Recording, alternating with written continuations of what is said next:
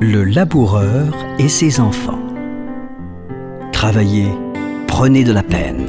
C'est le fond qui manque le moins. Un riche laboureur, sentant sa mort prochaine, fit venir ses enfants, leur parla sans témoin.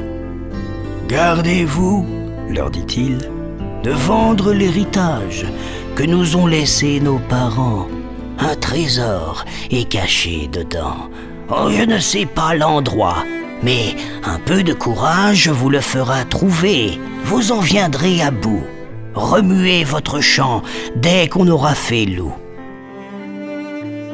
Creusez, fouillez, bêchez, ne laissez nulle place où la main ne passe et repasse. Le père mort, les fils vous retournent le champ, de ça, de là, partout, si bien qu'au bout de l'an, il en rapporta davantage. D'argent, point de cachet, mais le père fut sage de leur montrer avant sa mort que le travail est un trésor.